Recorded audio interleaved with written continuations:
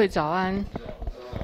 我们今天上课的主题分为两个部分，第一个是接续上周所说的《诚实论》第一百零四品三报业品，这一品在说明现报业、申报业以及后报业。第二个部分是我们要呃讲第九十九品大小立业品，这一品只在说明这个立业以及福田的。差别。那首先，请各位将上周所发的讲义《三报业品》的相关文献，这里面有收录了《大毗婆沙论》第一百一十四卷，还有《顺正理论》卷第四十。那我先将上周所说的内容做一个复习。现报业就是我在此世造业，在此世就受报；申报业是我在此世造业，我下辈子受报；后报业是指我在此世造业，在第三生以后受报。这三种业。叫做定报业。之前我们在固不固品的时候有讲到四种业，第一个是做而不及，这个是指造作业之后后悔，或者是造作业之后心不在意念。第二种叫做急而不做，是指呢自己不作业，但是啊见到他人造作啊，而内心随着欢喜。第三种叫做易作易急，自己造作业，内心也跟着欢喜。所以，像第三种这个易作易急业啊，就是属于定报业啦。第四种叫做不作不急，自己不造业，见他人造业，内心不随着欢喜。那这个易作易急的急，也有人翻译成增长啊，造作增长。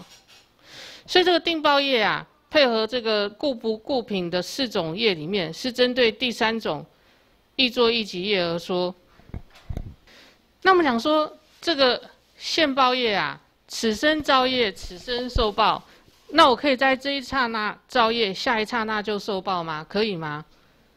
可不可以在下一个刹那马上受报？现报业可以这样受报吗？大毗婆沙论跟诚实论说，不能够在造业的下一刹那就马上受报啊。上次我们读大毗婆沙论的时候，有讲到说，这个业啊，要带相续或者度相续才受其果。因为这个你造的业是善恶，你的这个果报是苦乐嘛，它的性质是不同，它需要时间呐，所以要带我这一生的相续，或者是超越我这一生的相续。才会受这个果实啊，所以没有此刹那造业，下一刹那就受报这样的事情。所以陈时任说，这个业感果啊，他做比喻叫做种见次生芽。像我有在种麦草的，给猫咪吃的，你这个种子要长芽，也要也要至少一天呐。那这三种叶里面，现报叶、生报叶、后报叶，哪一种叶是最殊胜的呢？最胜哪一种？后报业，后报业是最胜。为什么呢？因为它所生的果实是最殊胜的，果报殊胜啊。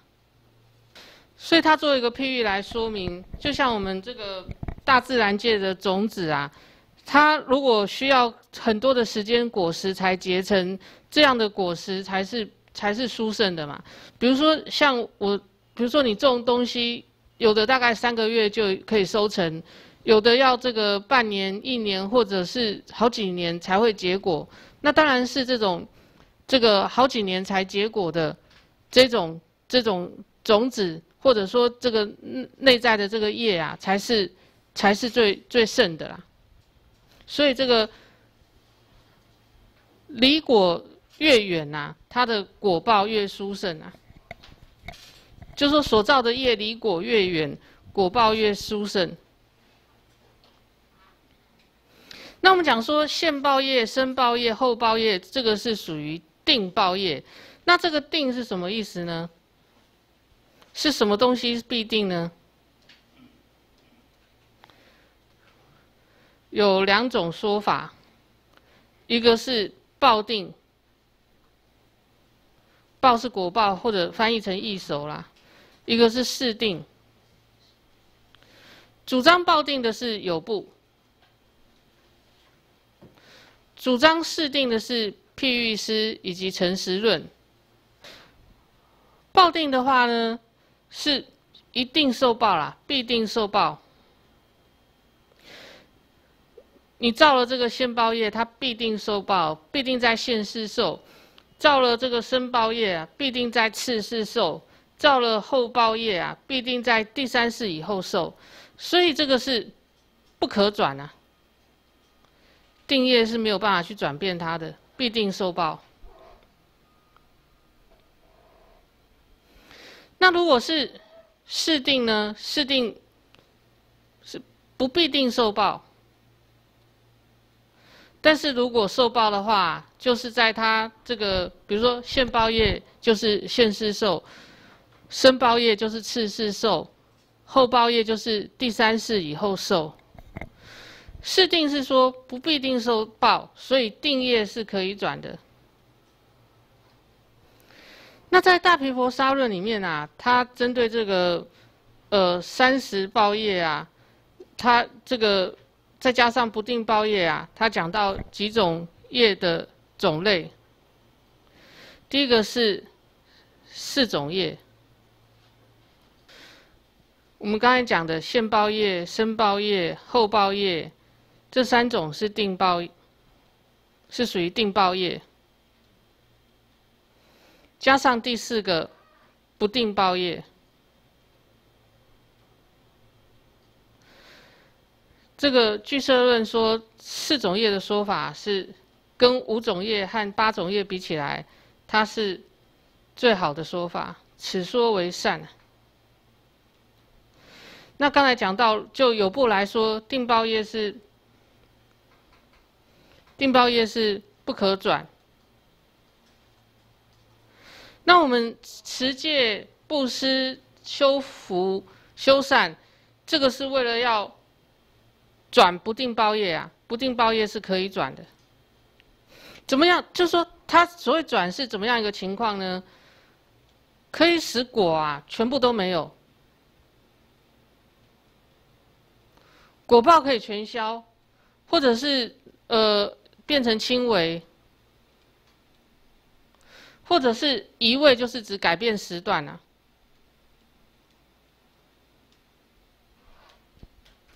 所以在顺正理论，他讲到说，比如说像《严狱经》讲的，原本造作这个地狱应受地狱的业报的应受地狱果报的业，那透过这个修身界心慧，寿命极长，可以把它变成是在现世轻受，这种就是不定报业啦。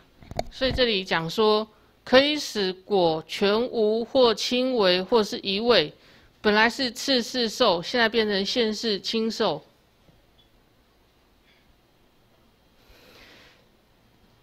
毗婆沙师是说四业，那还有五业的说法。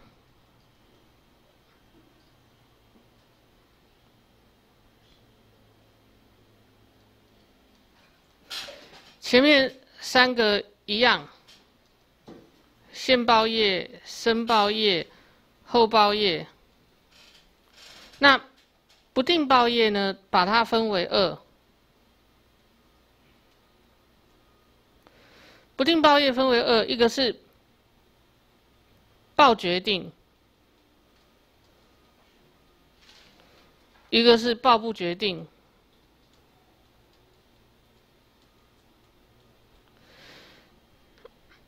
那这五种业里面啊。可以转的是最后一种。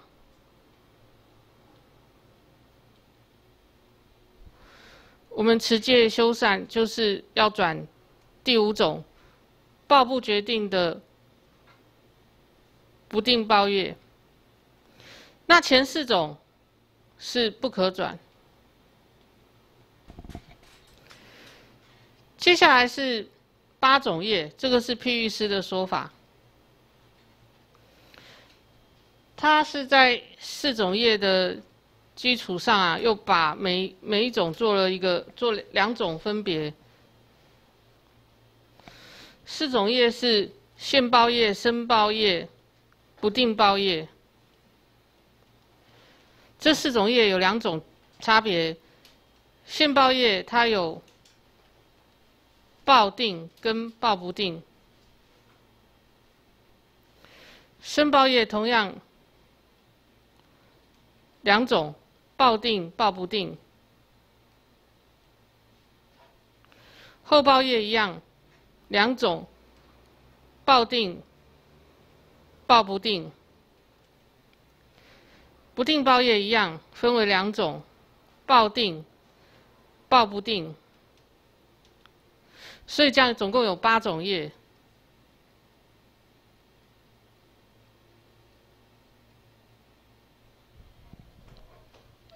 那这八种业啊，又有四句差别。第一个是时定报不定，第二个是报定时不定。第三个是实报俱定嘛？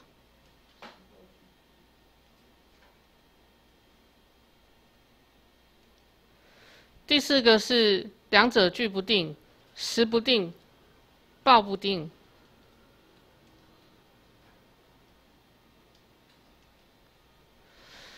那以时间决定报不决定，像这个时定就是三种现现报业嘛。不是三种这个三十页啦，现报业、申报业、后报业。那所以它是针对这个报不定的部分。报决定、时不决定是哪一种？时不定的话是不定报业嘛，但它报报定，所以是第七。时定报定这个很简单嘛，就是三种这个。三十页里面的这个报定的部分，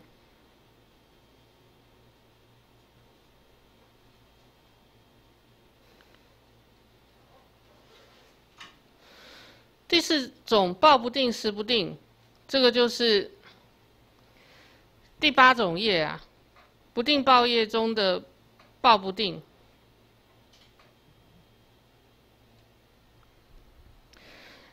那。众贤顺正理论啊，他就说，这个譬喻师所立八业啊，极为杂乱。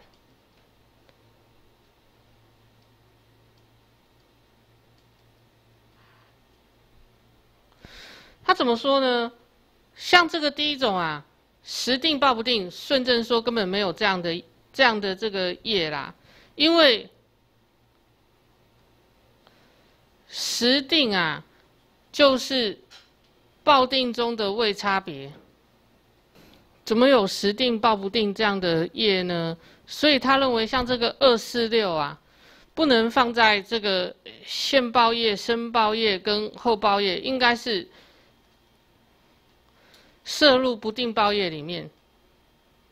总之，四页、五页跟八页的说法，四页被认为是最好的。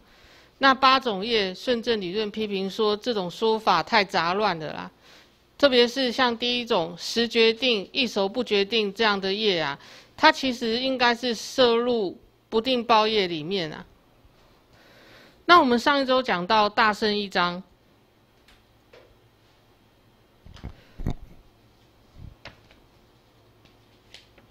大圣一章第七卷。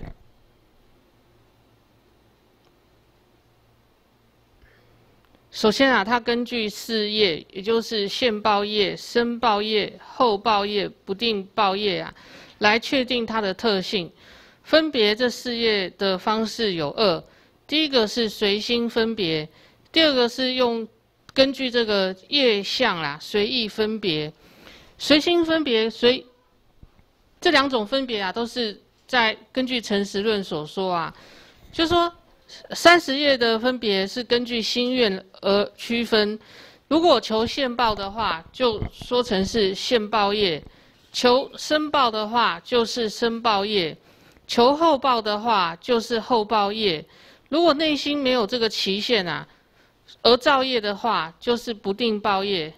像《诚实论》里面举了茉莉夫人呐，他那时候供养佛陀食物的时候啊，他是发愿希望能够脱离奴婢的身份。那因为他真的是成为王夫人，所以被说为是现报业。第二点，就业相随意分别，如诚实说，利而不重是现报业，也就是对于佛以及种种的贤圣、父母等，速起善恶，速速升起常善恶啦，常常做的意思啊。这个利就是指经常去做的意思啊。但是去做啊，不应智，就是说这个内心啊，没有没有这个内心的这个状态，没有非常的深厚殷切啊，说为不重啊。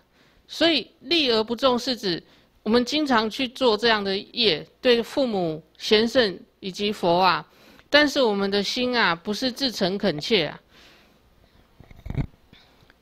以求上进，进是对象，就是刚才所讲的对象。佛贤圣父母，速速升起善恶，因此得到现报。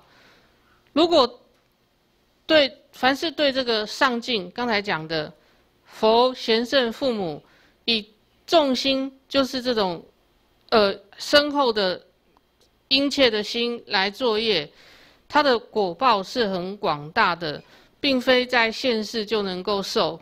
因此偏是特别特别去。分去选择分别，这个不重，就是内心不造业时候心意不深重的，为现报业。那这里针对这种利而不重是现报业，有一个疑问：凡是说利而不重得现报，茉莉夫人呐，她这个施佛啊是只是？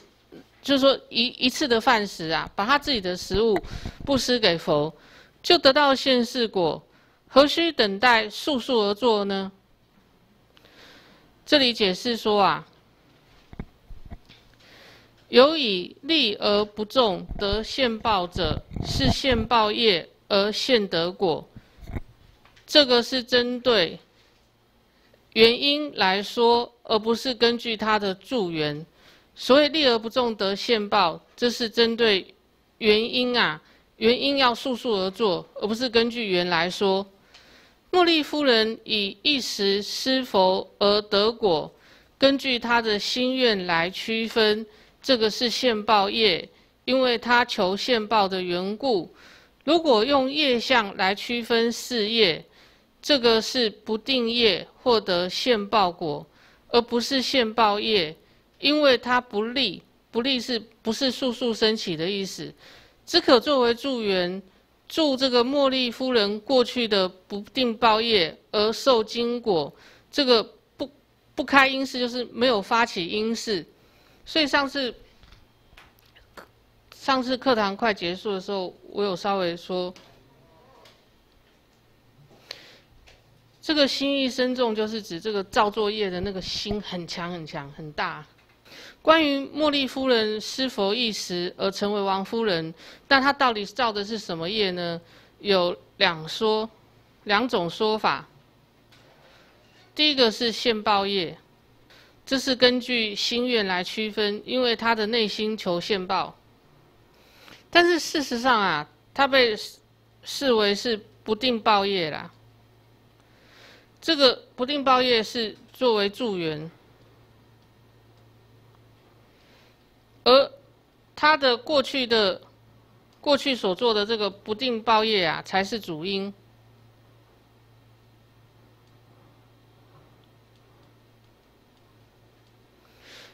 助缘加上主因啊，让他现世受报。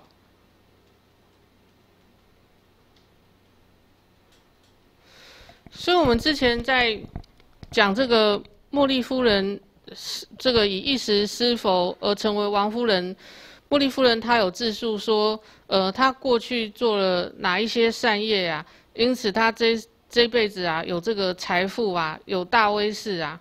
所以，并不是光是仅凭这一辈子，呃，以一时不施佛就能够成为王夫人啊。在经中里面就可以。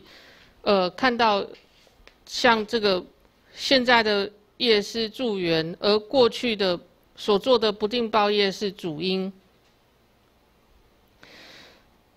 在这个另一份讲义里面，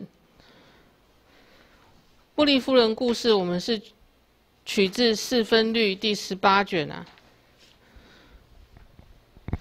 所以里面有讲到说。我前世时能行布施沙门婆罗门贫穷孤老来乞求者，衣服饮食乃至灯烛皆给予之。是故我今日资财无乏。我前世时见他得利养，不生嫉妒心，故今日有大威力。今此波斯匿王宫中五百女人，皆是刹利种姓。而我于中尊贵自在，所以他有讲到说，他过去世啊，他他这个造了哪些善业，而于今世感得这些果报。重而不利是生报业，也就是忤逆罪等等。于一境，境是对象啦。对于一个对象啊。不过起于一逆两利呀，就说呃，对于佛嘛，可以怎么样呢？就是说出佛身血，佛也算阿罗汉吧。就是说如果呃，或者是如果父母的话，就是杀父杀母嘛。对于一个对象，只能做起一逆啦。因此说不利，就是说不能。常常做不能经常做啊。对于刚才所讲的那些境界，就是那个对象，父母、圣贤跟佛，生起此为害，非极重心不能承办。就说你要对父母造这种杀业，那个心是很重，心意深重啊。那个心是很强的，因此说为重。申报业的这个。果报啊是很重的啊，因此没有办法在现世受。为什么这样呢？因为生小的缘故，便没有大苦。生小是指我们这个人生嘛。这个人生，如果你跟无间地狱的众生相比，这个身体是小到没有什么好说的。无间地狱的无间，各位还记得它有什么含义吗？第一个受苦无间嘛，第二个身形无间。所以他的身形是遍满整个地狱的，其他无间地狱的众生也是遍满无间地狱，可是彼此不相妨碍。所以这个这个无间地狱有多大，这个众生的身形就有多大。那我们现在这个人生是小小的，所以说相对之下没有大苦。那你无间地狱的众生身形遍满，那是很苦很苦很苦的啊。再来就是因为寿命短促的缘故。便不会长久受恼。那像这个无间地狱寿命就很长啊。因此，像我们如果造忤逆的话，是现在不受重报。忤逆之业啊，它引起果报是算是快的啊，所以它不会等到第三世以后啊，它是在次世就受报。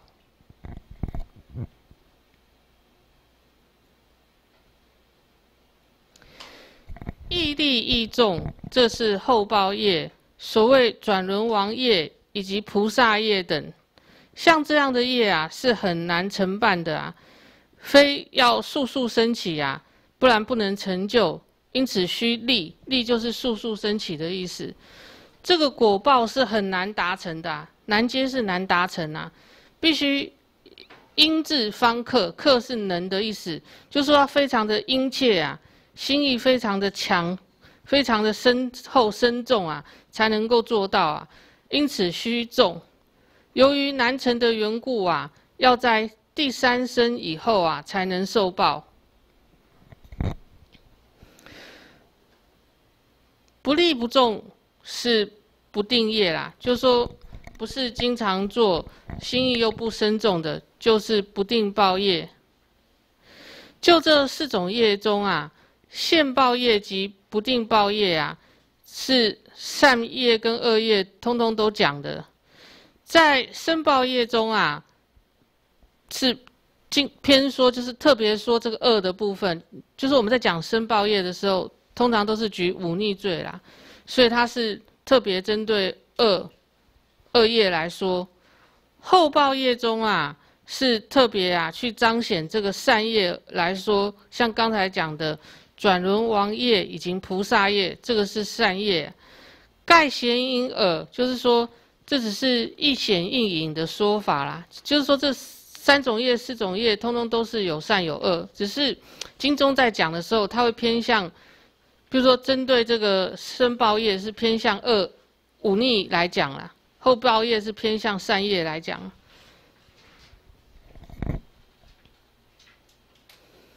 再来针对圣人造业与否，在诚实法中啊，人们的解释不同。有人说，圣人一向不造新业，用之受身，这是指说。圣人呐，他不会造作会导致受身的新业啊。假使造假使造作的话，只升起现报不定报业，不做其他两种，就是说不做申报跟后报啊。陈实论的论文呐，似乎是如此。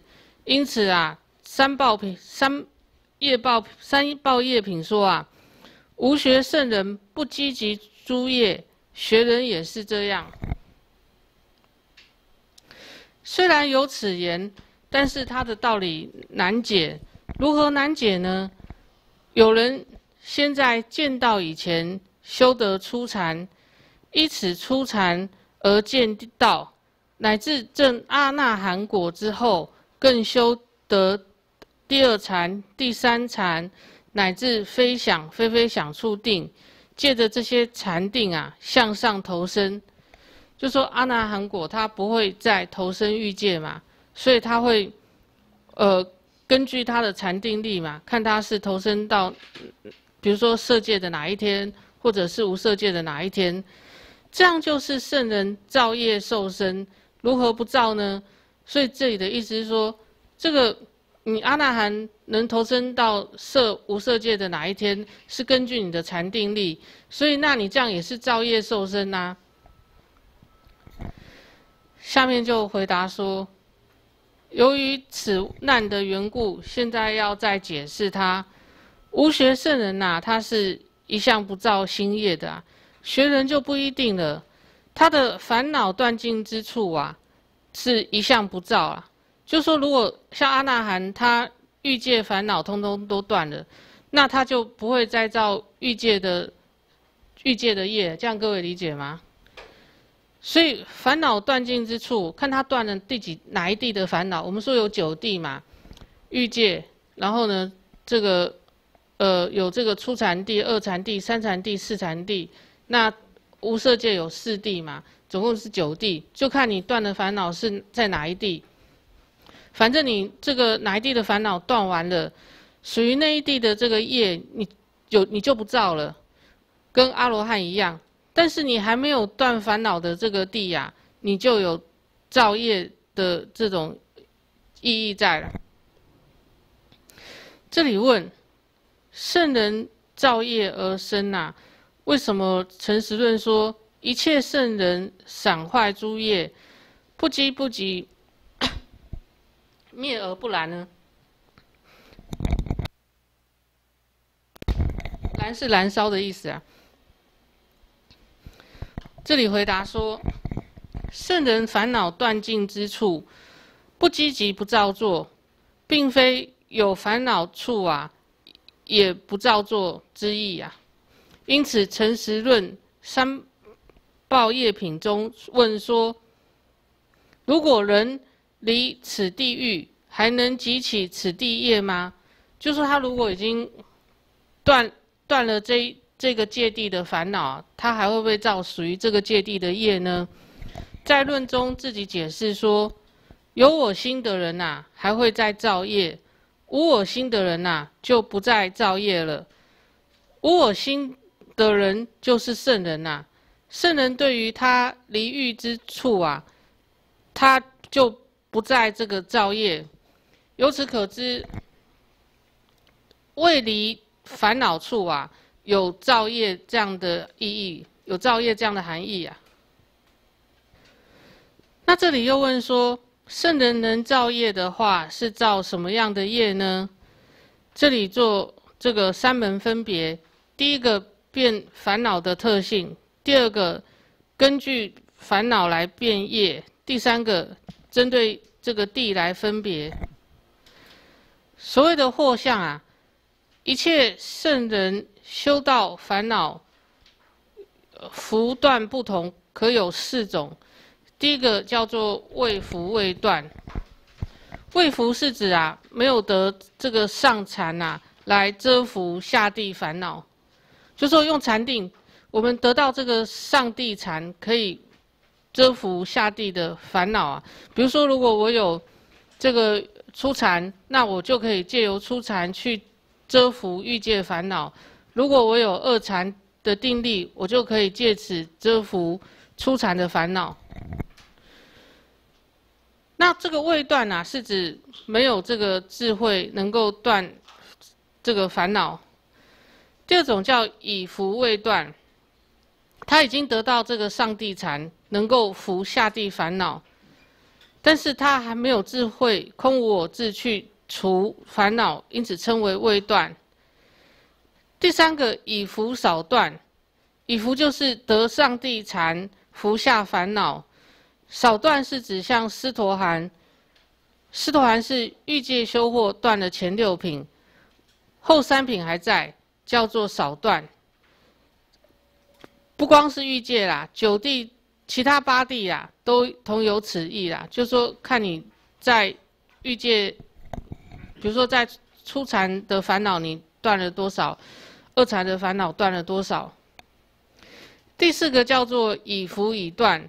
以福就是用上禅定服下地烦恼，以断是指已有盛会啊，能够毕竟断啊。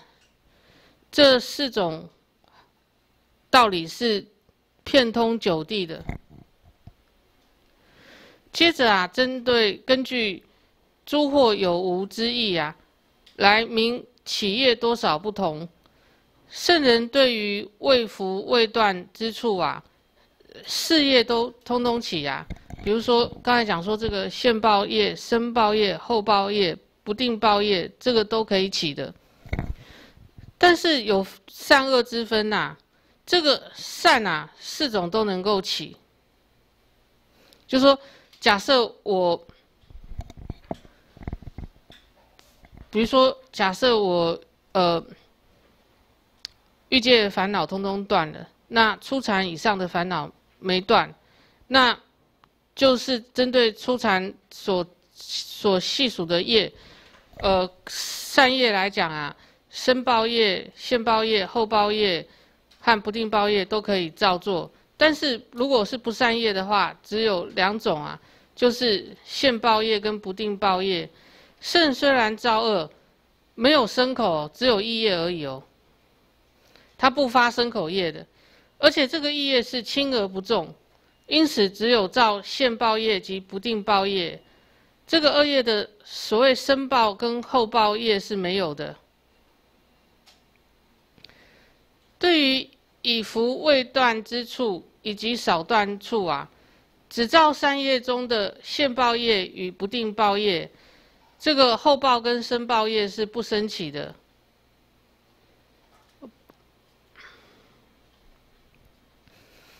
恶业也是不起啦。于彼以福以断之处，这四种业通通不造。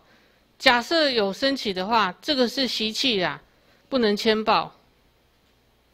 所以阿罗汉是不造新业啊，他只有习气而已。接下来针对现报的因缘来说，现报业中啊，凡是只做一次而获得果报的，这只能称为是缘，不能够称为因。这个乃是现在的缘去帮助过去不定报业而获得今世的果报。像刚才讲到茉莉夫人呐，她只供养佛陀一次的饭食，就成为王夫人。她只做一次嘛，所以我们刚才说这个是属于助缘呐，去帮助过定不定过去的不定报业，在今世得果。凡是当速速而作而得果者，才可以称为因啊。要多做才能够称为因。论中宣说，论是诚实论，立而不重是现报业。现业得果啊，是非常难的啊。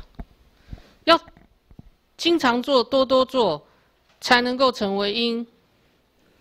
如果是论生报业跟后报业及不定报业啊，做一次或者是常常做啊，都可以成为因。也可以成为缘。今生就是经过出生呐，业成熟得果容易的缘故啊。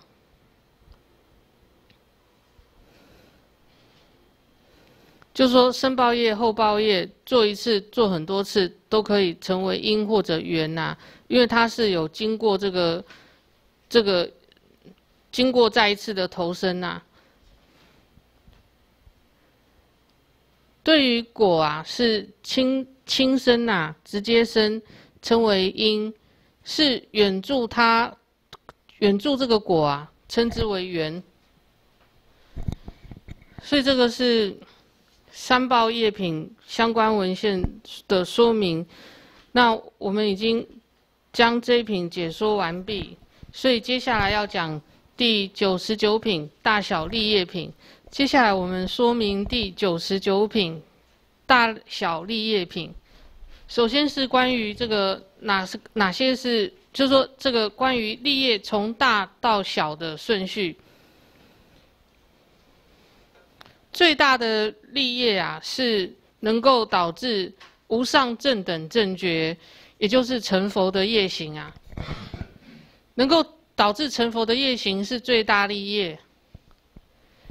其次是导致能够得到这个能够成为辟支佛的业行，再其次是能够成为这个呃阿罗汉的业行，四相四果圣人的业行，再其次啊是修禅定能够得到投身非想非非想处果报的业行，在这里寿命是八万大劫。这是生死中的最大业报啦，就是寿命最长的地方。再其次是到，就是说修禅定啊，投身到无所有处，寿命六万劫。再其次就是投身到世无边处，寿命四万劫。再其次是投身到空无边处，寿命两万劫。这样子次第的从无色界啊，这样子一直到这个初禅，泛世界就是指初禅啊，寿命半劫，因为这个梵世界啊，它就是所谓初禅天有分为三天嘛，梵众天、梵辅天跟大梵天，那这里的寿命半劫是针对第一天梵众天来说，接下来是欲界。欲界最高是他化自在天，这里受天数一万六千岁，天的岁数一万六千岁啊，不是不是用人数人间的岁数来算，是天数。第五化乐天呐是八千岁，就说每下一层就折半了。第四兜率天是四千岁，第三夜摩天是两千岁，第二刀立天是一千岁。最低一层四王天是五百岁，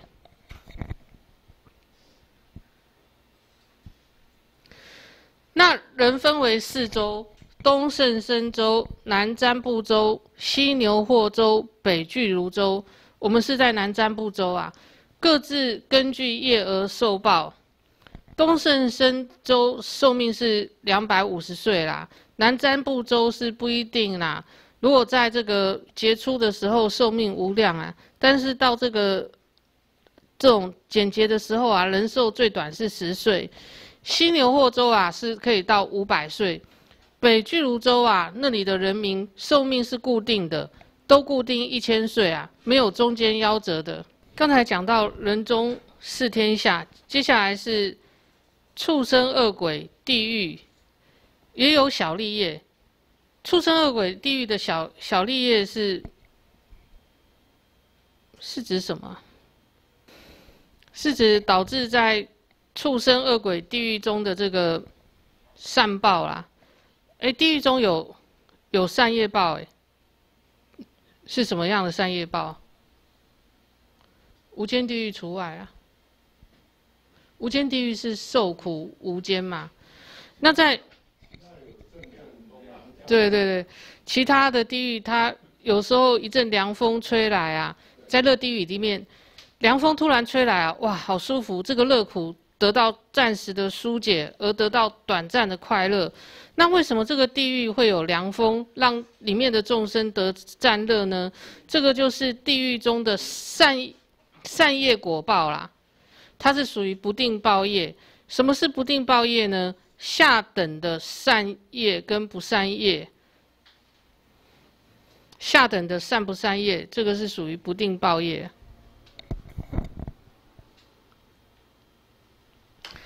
再来讲到导致大小立业的业行，这里问哪些业行能够获得无上正等正觉，乃至于刚才所说的这些。大小立业呢？这里回答说，布施等六波罗蜜具足，具足是圆满的意思啊。六波罗蜜圆满，能够获得无上正等正觉。那这个六波罗蜜啊，不那么圆满啊，变得比较薄弱，这个就是辟支佛的觉悟啦。再更薄弱的话，就是声闻的觉悟。那要投身飞翔飞飞翔处，叫做有顶，有顶就是三界之顶啊。飞飞飞翔飞飞翔处是三界中最高的这个地点，所以叫做有顶。要到这里啊，要修行强大，真上是强大，强大的四无量心，慈悲喜舍啊。那如果这个四无量心啊，它没那么强大，它变得比较薄弱啊。就投身下地，无所有处，事无边处，空无边处。如果这个四无量心啊更薄弱了，并且根据这个禅定界的因缘呐，而投身色界，借由布施持戒修善因缘，因此生欲界。修善大概是指孝养父母、尊敬师长，这诸如此类的啦。此布施等业，根据福田的厚薄，因此有差别。凡是于诸佛福田中行，这个是最殊胜的啊。其次于这个辟支佛等福田中行啊，次第转少。就说如果我们，呃，以这个布施业的这个这个呃福德的这个大小，对于。诸佛行布施，这个是最胜；其次是不辟支佛，再其次是阿罗汉。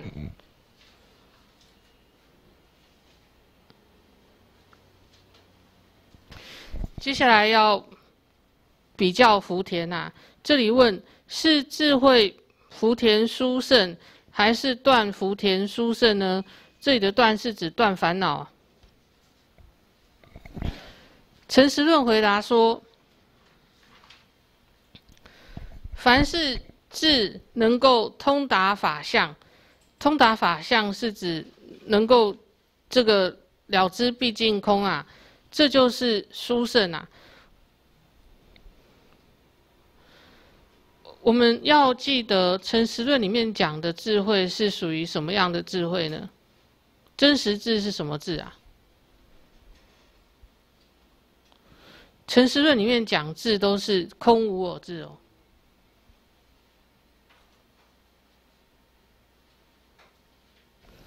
《诚实论》是否定有所谓世间智慧啦，这个智慧都是出世间的，是空无我智。能够通达法相，通达毕竟空，这个是殊胜呐。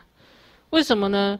例如佛由于智慧的缘故，因此在弟子中殊胜，并不是因为佛断尽烦恼的缘故。例如杂藏中说，打扫如同一南瞻部洲般的深房地，比不上打扫如同一手掌处的佛塔。就说。我们扫这个佛塔，只扫一小块地方，这个功德啊，跟这个我们扫这个很大很大很大的身房地啊，是不能够相比的。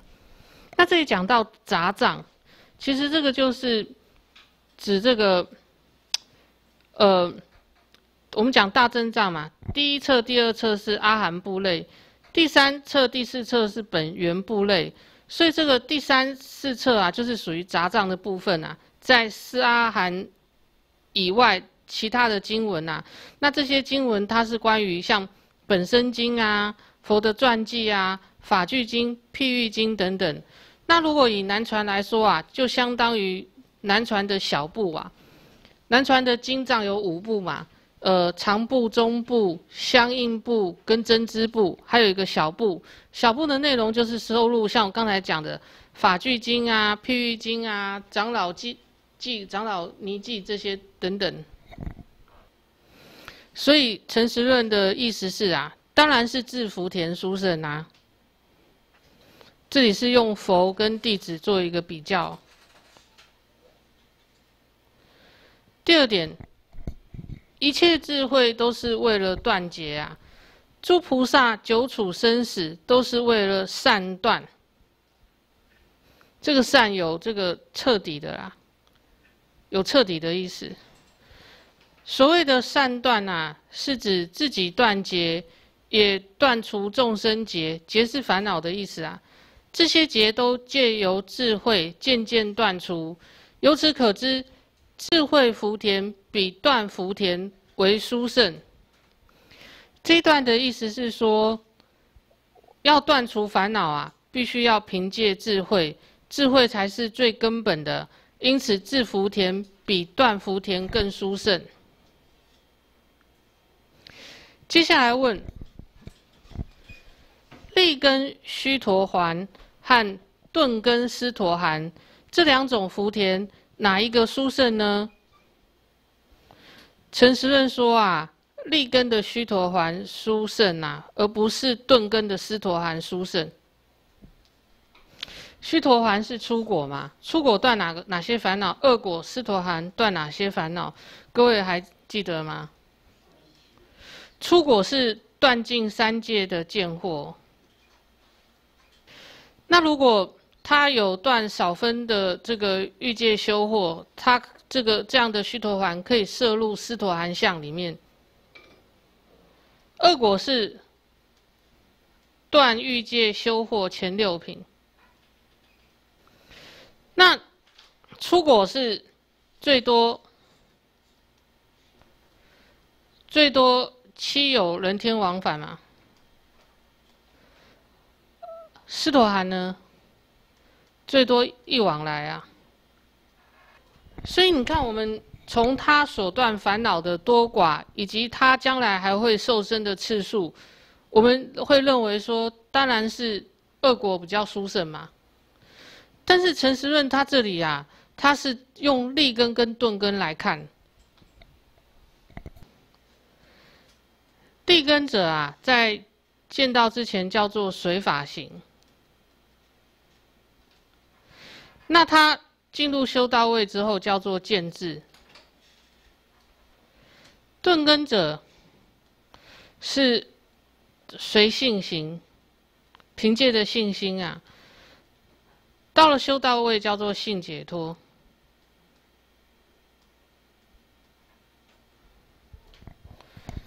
陈世仁认为说，这个立根者殊胜，并不是钝根者啊。即使立根的是须陀环，钝根的是斯陀含啊，立根的还是比较殊胜的、接下来针对陈时论所说，而发出直难，这里认为陈时论所说的不正确，他引经来证明。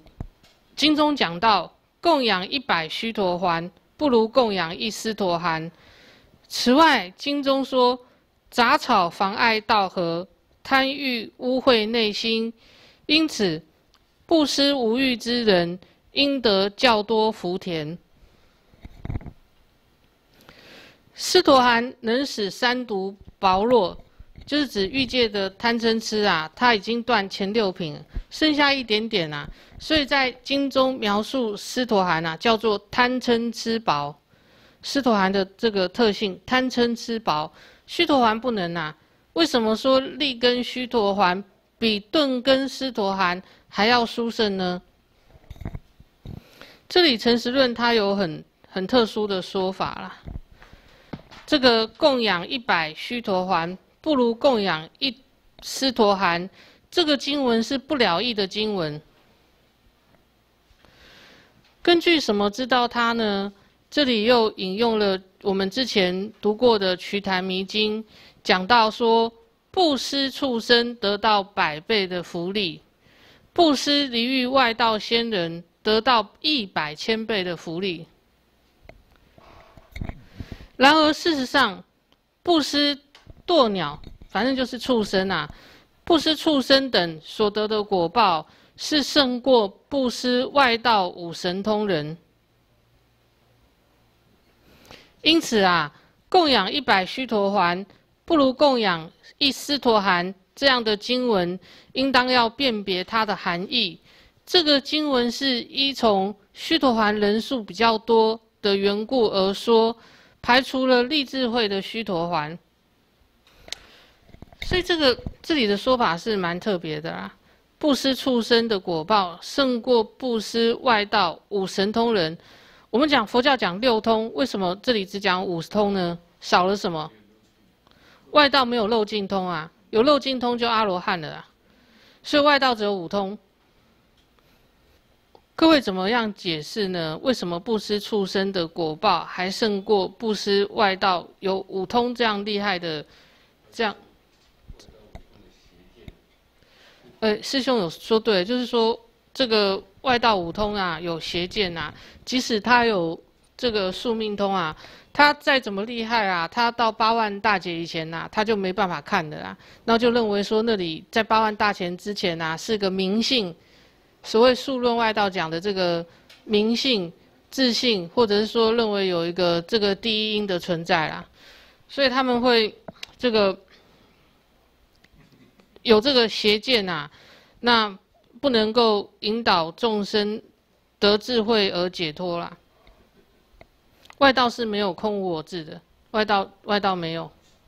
我下面有一个注解，这一段的意思是说，须陀洹的人数多，斯陀含的人数少，因此经中说供养一百须陀洹，不如供养一斯陀含。此经所说的一百须陀洹，通通都是顿根者。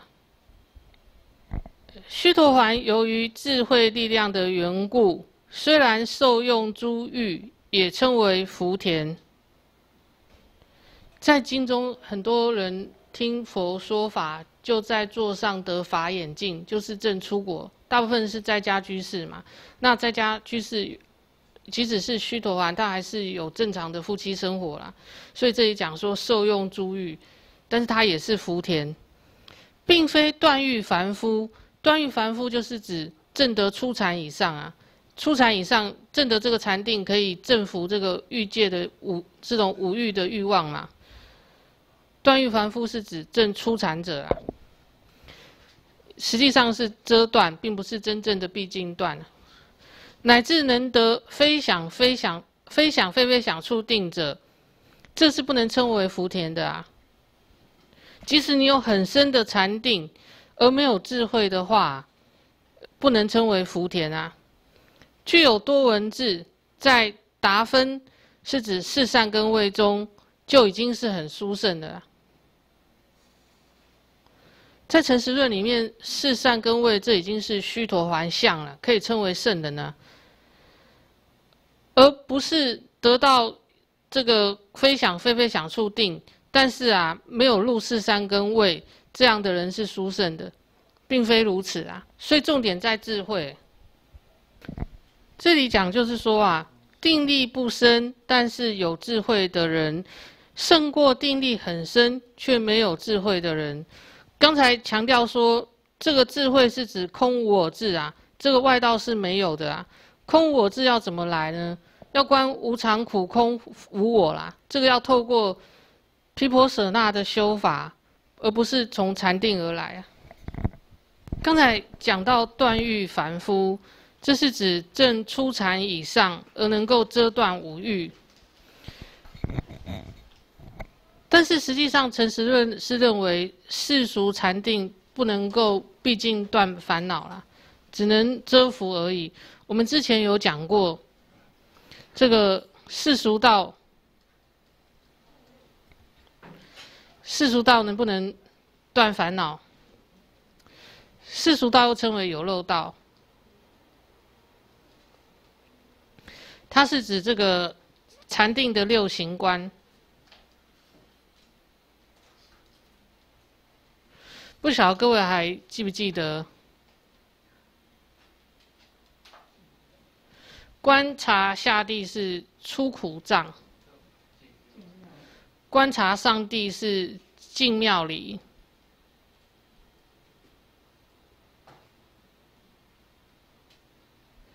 这个出跟进是相对，苦跟妙是相对，障跟离是相对。出就是指下地有很多的调举而不极进嘛。那如果上地的话，就是它的调举啊比较轻微，所以它比较极进。苦就是指这个不美妙啦，下地不美妙，而而上地啊有美妙之乐。障就是指这个下地啊能够付账。而上帝啊，能够出离，所以借由这是在进行定，这个六行观是发生在进行定，因为如果你是在安止定的，你在安止定的话，你不能做这些观察。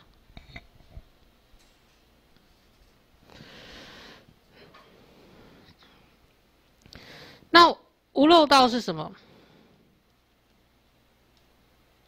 无漏道就是做。四地十六形象观啊，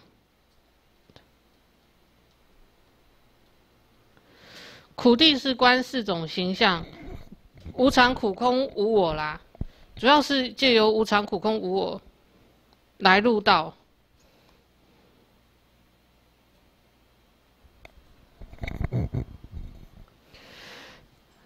诚实跟有部的看法不一样。有部说啊，世俗道能够断惑，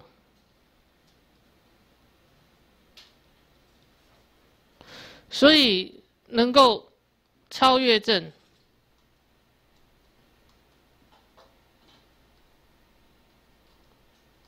什么叫超越正呢？就是凡夫啊，直接变成恶果圣人，或者三果圣人。初果跟恶果可以跳过，直接从凡夫。变恶果，或直接从凡夫变三果。诚实论认为说世俗道不能断惑，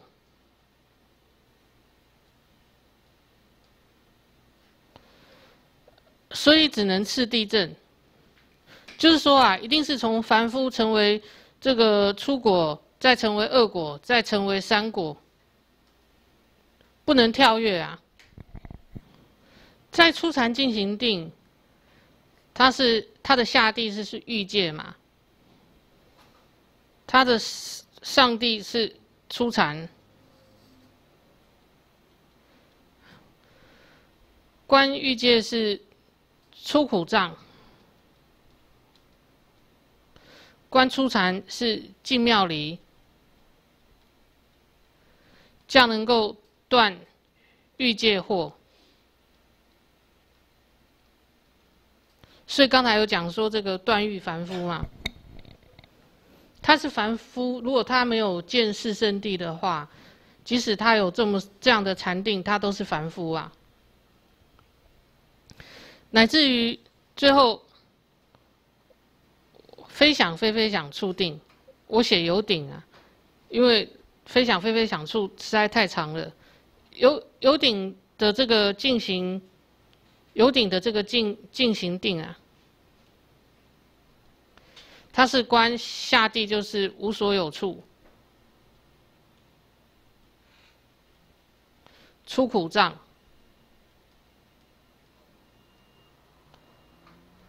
观非想非非想处，进妙离，所以他断的是无所有处惑。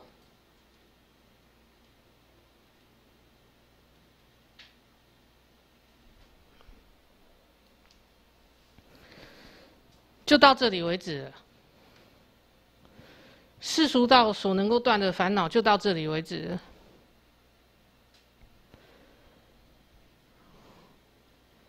因为世俗道啊，它不能断这个非想非非想处的烦恼，为什么呢？因为没有上，没有再上一层的。修禅定，按照有部的所有法，最多就只能断到这个无所有处烦恼，包括这个见修恶惑，但是他没有办法断呃非想非非想处烦恼，所以他没有办法达达到见到位了，没办法。所以按照有部的说法。最高只能断无所有处，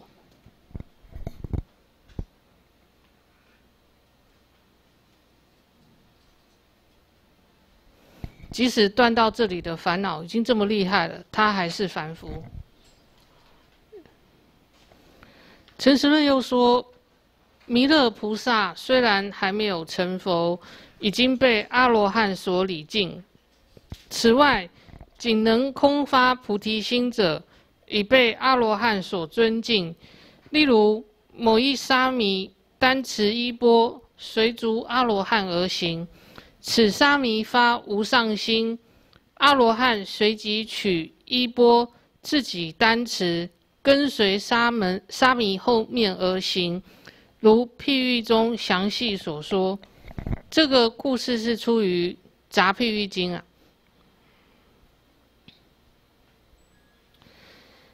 根据上面所说的种种啊，可以知道智慧福田呐是比断福田更殊胜的。那我们先看一下这个沙弥的故事，在所引经文所所摘录呃所引用文献的最后一则第三项经文，出于《众经传杂譬喻》第十八经。从前，却离寺有一个长老比丘，得阿罗汉道。将就是带领，带领一沙弥。这时啊，来路来下路程游观，衣钵很重啊，就要沙弥啊担着跟在他的后面。沙弥在这个道路上啊，就这样子思维：人出生在这个世间啊，没有不受苦的。想要免除此苦，当发起什么样的道呢？就这样子思维，佛陀常赞叹菩萨是殊胜的。我现在应当发起菩萨心，才做这样思维。他的师父就以他心自通，知道对方所思维，对沙弥说：“把衣钵拿来。”沙弥就将衣钵啊。交给师傅，师傅对沙弥说：“你在前面走。”沙弥才在前面行，又这样子思维：菩萨之道啊，实在是非常的辛勤劳苦啊。求头要给头，求眼要给眼啊，这件事情实在是太困难的。并不是我所能够承办的，不如早日证阿罗汉果，赶快能够离苦好了。他的老师又知道他心中所念，就对沙弥说：“啊，你来担衣钵，在随跟在我后面。”这种情况重复了三次啊，沙弥很惊愕，不知道师傅是什么意思。前进到休息的地方，插手就是合掌。合掌对师傅啊，去请教他的这个意思。师傅回答说：“你呀，对于菩萨道三境的缘故，我也三次啊推你在前；你的心三次退返的缘故啊，推你在后。之所以如此，发菩提心啊，其功德胜过啊，遍满三千世界成阿罗汉者。”这两者的功德啊，是不可以来做，是无法比喻的啊。所以这个即使只是空发菩提心啊，这个功德就已经胜过这个成为阿罗汉了。那我们接下来看第二则经文：供养百须陀环，不如供养一丝陀含。这是出于《中阿含经》第一百五十五经《须达多经》，须达多就是几孤独长老啊。地点在舍卫国奇树几孤独园。这时，须达多居士前往造访佛陀处所，稽首作礼，退坐在一边。世尊问：“居士家可行施吗？”须达多居士回答：“是的，世尊啊，家里行布施，但是非常的简陋啊，没有办法提供好食啊，只能提供羹饭麻跟，只能提供糠饭麻跟姜菜一片，这个米不是很好的米啊，然后姜菜这种腌菜只有一点点而已。佛陀说啊，居士啊，不论施。”简陋的食物或者是这个妙食啊，都得到果报啊。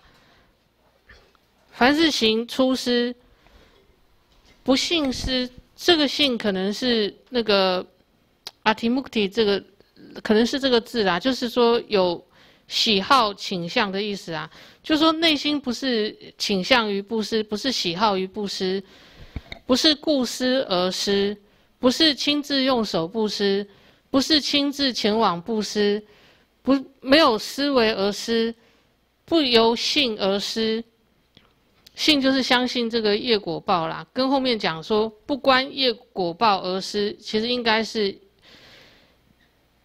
信，可能就是信这个三宝信因果啦，跟后面不关业果报而施应该是类似的意思。如果这样布施的话，是受如是的报啊。心不意欲得好家，不意欲得好车，不意欲得好衣被，不意欲得好饮食，不意欲得好的五欲功德。为什么呢？因为不自心，就是指不诚心呐。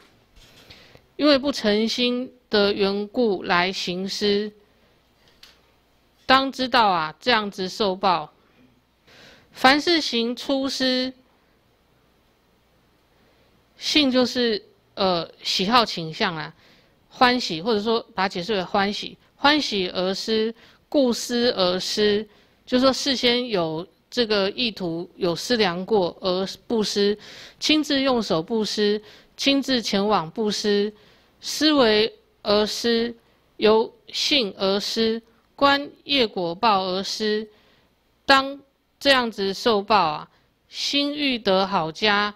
欲得好车，欲得好衣被，欲得好饮食，欲得好五欲功德。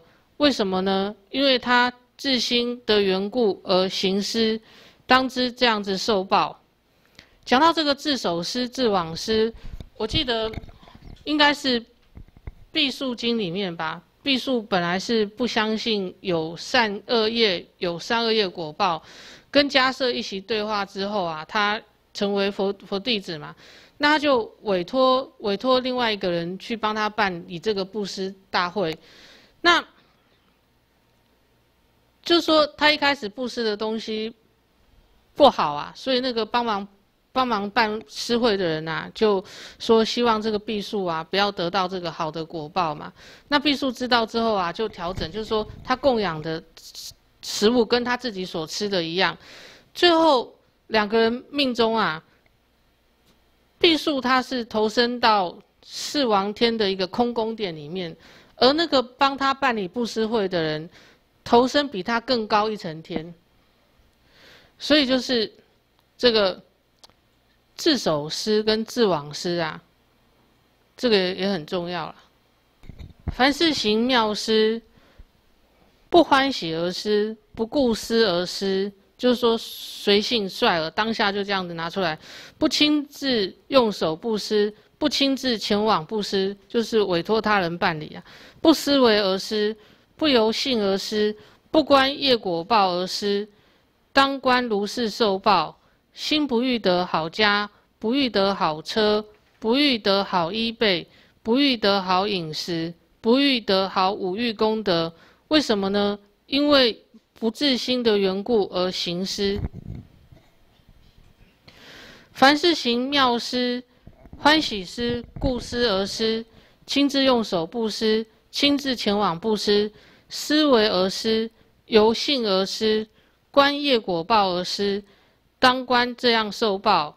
心欲得好家，欲得好车，欲得好衣被，欲得好饮食，欲得好五欲功德。为什么呢？因为他自心的缘故而行施。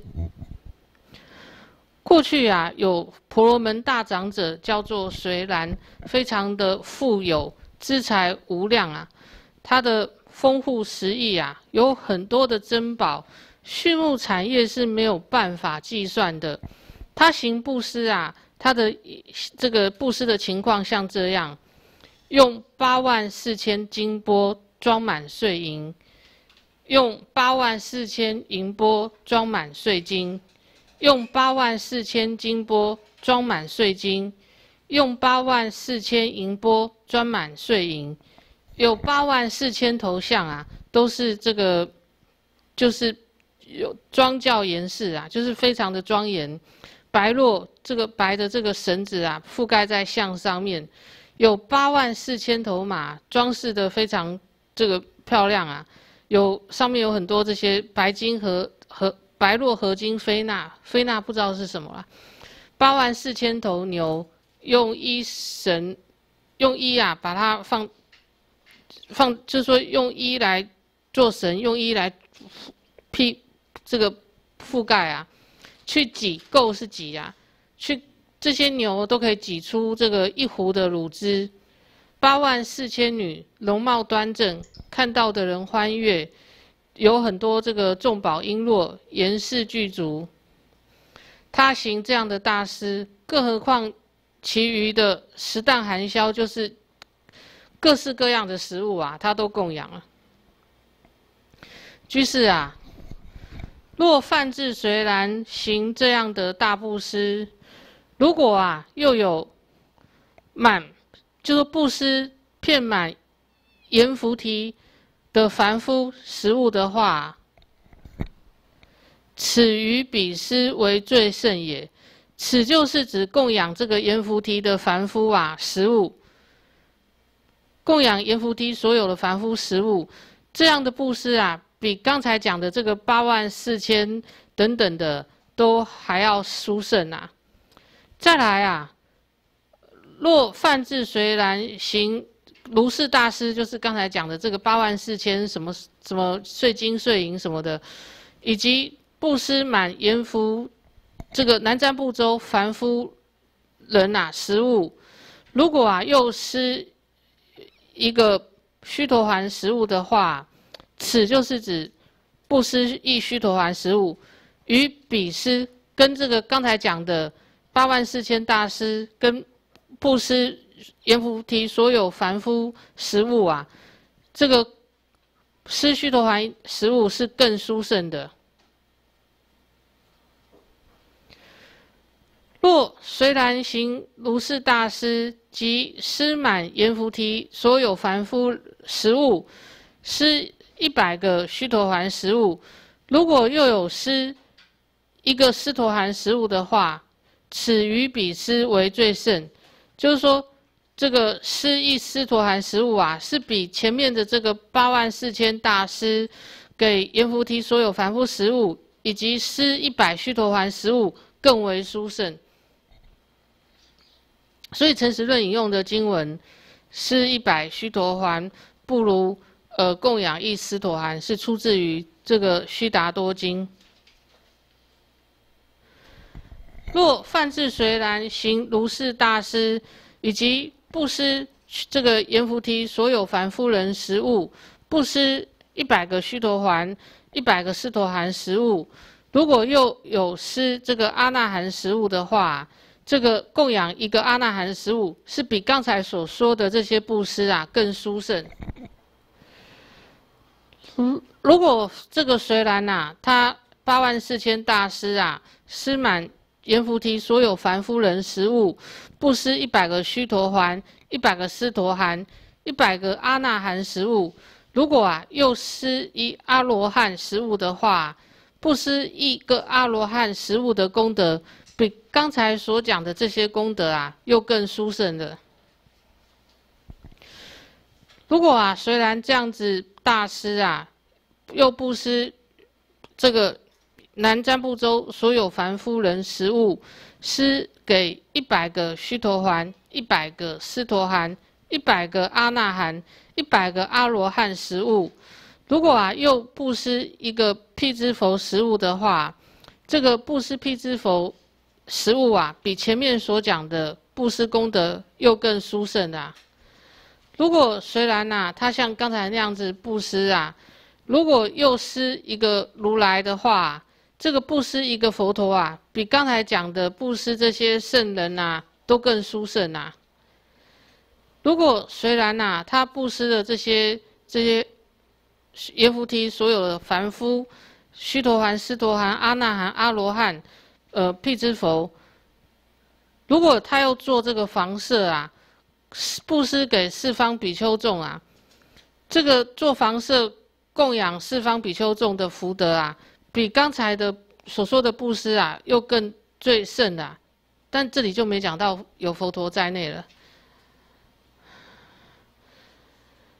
那比刚才讲的这个布施又更殊胜的是怎么样呢？欢喜心归依三尊，也就是佛法僧以及受戒。这样的功德又比刚才所说的这些布施的这些累积加总又更殊胜的。如果啊能够为一切众生行于慈心，这个慈心啊乃至只有挤一次牛奶的瞬间呐，这样的功德也比刚才讲的啊所说的就是说八万四千大师啊，然后布施。全南瞻部洲凡夫食物啊，布施一百须陀洹、斯陀含、阿那含、阿罗汉、辟支佛食物，做房舍布施四方比丘众，皈依三宝及受戒，都比这个更殊胜的啊！如果这个能够啊进一步观一切法无常、苦、无我啊，这个又比刚才所说的更殊胜的啊！这个。虽然就是我啊，不是其他的人呐。我从前做范志大长者，叫做虽然。我在那个时候啊，自己利益啊，也利益他人，劳役多人，悯伤世间，就是指怜悯众生呐。为天为人求利益及劳役，求安稳快乐。那时说法不就近啊，不就近白净，不就近犯行，不就近犯行完成。不离生老病死，啼哭忧戚，也未能得脱一切苦啊！现在成为这个如来啊，是这个天人师啊，称为佛，众又是世尊的意思。